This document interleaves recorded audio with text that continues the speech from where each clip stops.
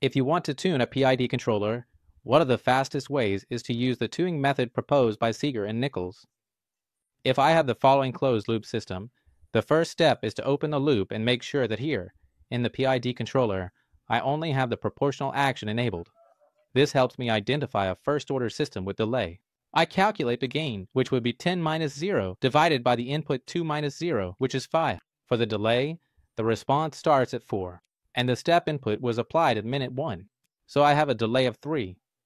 For the time constant, if I draw a tangent from the delay point to where it stabilizes, which is 10, you'll see that it's roughly 20. I subtract the delay, which is 3, and subtract 1, which is where the step starts. So the time constant is 16.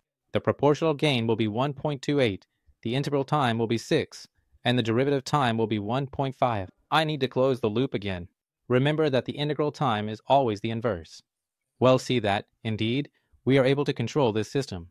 If you want to know more details, check the comments and remember that.